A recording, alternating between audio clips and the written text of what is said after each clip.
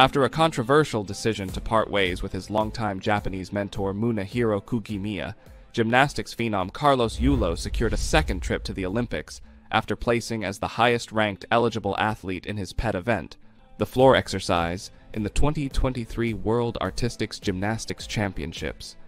Yulo opted out of the 2023 Asiad to focus on the World Tournament alongside Aldrin Castañeda, who was his coach during his junior years.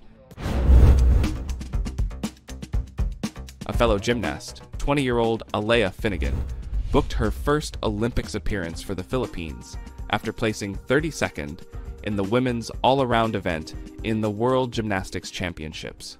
The Philippines is the second country she has ever represented. Back when she was a part of the US team, she belonged to the squad that won the women's team crown in the 2019 Pan American Games.